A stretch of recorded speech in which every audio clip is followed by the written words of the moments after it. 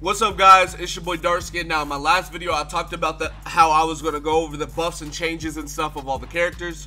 So that's what we are doing in this video. So um, yeah, make sure you guys uh, like the video if you enjoy it, subscribe to the channel if you're new, comment down below, and let's get into it. So starting out, we're going to be talking about Demon Meliodas. So um, let me go ahead and find them.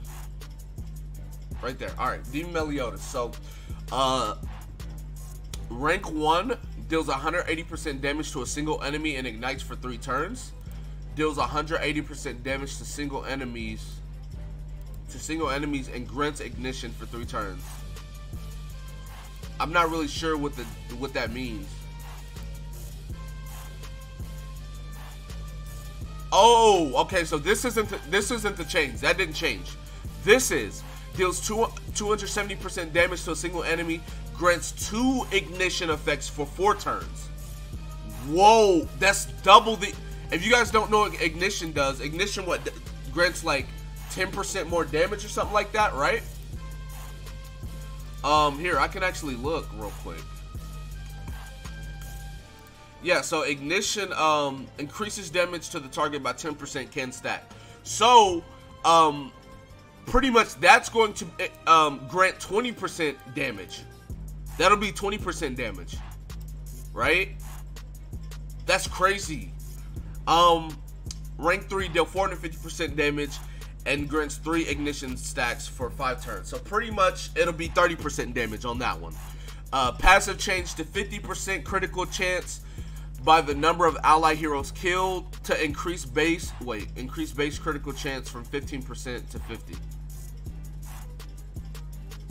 what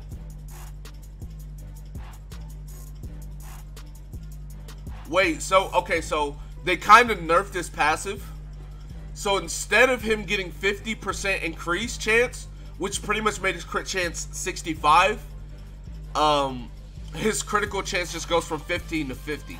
So it did get nerfed by 15%. Um, I mean, it's not too bad, but alright. Moving on to, uh, now we're going to be talking about Cain, right? The, uh, the R unit, yeah, the R unit Cain, right? Um, fire, well, flame, what? fire flame Cain. Uh, deals 180% damage to a single enemy and grants ignition for three turns. It's the same thing as Meliodas, right? Ignition for two turns, or two ignition for four turns, three ignition for five turns. So it's the exact same thing as Meliodas. Fine. Um, second ability, 180% damage to single enemy grants ignition for three turns. Releases. Okay, so now they um. Wait, what? Oh, okay. So his last one grants two ignition effects for four turns. So that's the difference. All right, so that's pretty much Cain. Nothing crazy. Uh, you're not. You don't use him like. You don't use him in combat. You simply use him in the as the fourth on your team. Um, for Red Demon and Gray Demon. So yeah, there's that. Um, moving on to Paladin Hendrickson. I'm pretty sure that's the blue Hendrickson, right? That's this one. I'm pretty sure that's him. Anyways, um,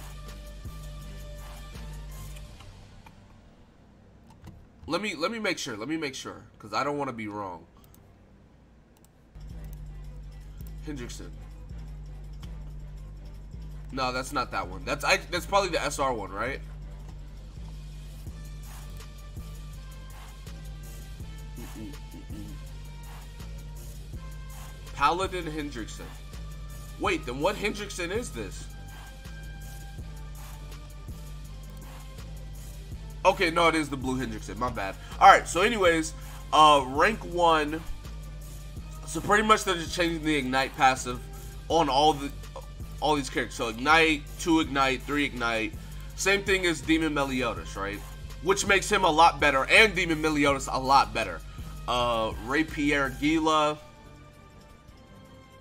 which I'm pretty sure that's Red Guila. Yeah, so, um, or is it? No, it's not. It's uh, Blue Guila, the SR Guila. So, um, the SR Guila is getting a buff as well. I mean, I don't really use her, but hey. Um, deals 80% ignite, ignite, and then two ignite. So pretty much it's just adding the ignite buffs all automatically. Um, and then uh, release all enemy positions inflicting well, release all enemy positions, inflict 280% damage, grant 2 ignite. So instead of ignite, it grants 2 ignite now on her um, ultimate, and then on one of her abilities, instead of ignite at level 3, it grants 2 ignite. Okay, okay, okay. Now, uh, moving to the next guys, alright? Um, passive changes for following characters. Pal Paladin uh, Gustaf, increased penetration stat from 10% to 30%. That's a really big buff. Paladin Jericho uh, strength attribute allied heroes attack power is increased by 10%.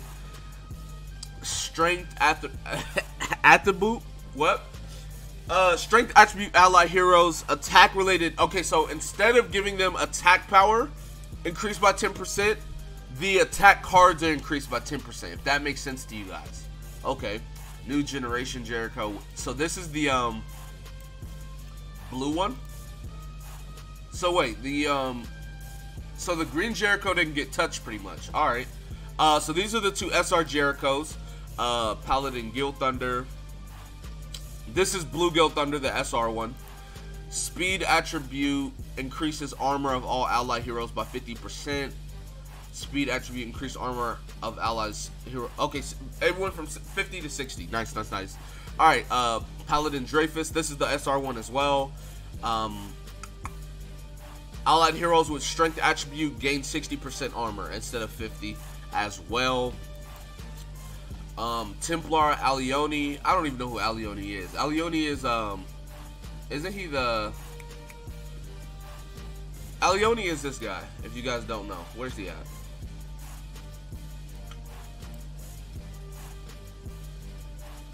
See, now I'm lost. Where are you at, bro? Well, here I'll, I'll, pull it up. I'll pull it up. This this guy right here is Alioni, right? Boom. Okay, so you, have fun with that. Um. Anyways, now that we got that out the way, um, Twigo strength attribute increases ally heroes health by 30%. Marmas speed attribute increased allied heroes by 30%. Jillian stamina attribute, the health of allied heroes increased by 30%.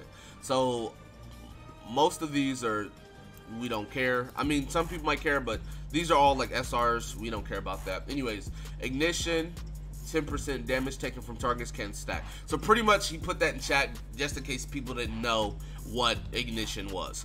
But anyways, um speaking more on Demon Meliodas. Demon Meliodas has continued and continued to get buffed. It seems like they want. It seems like when they dropped him, they wanted him to be like one of the best units out, but he wasn't. Come to find out, so now they're just continuously buffing him to make him one of the best units out, and he's starting to get there because like not only have you increased his damage significantly, right? On rank two, you increase the damage by 20%. On rank 3, it's by 30%, right? Which is disgusting. Like, that is actually disgusting, seeing how much damage Mel Demon Meliodas puts out already. Not to mention, um, his ultimate applies weakness, and he can crit.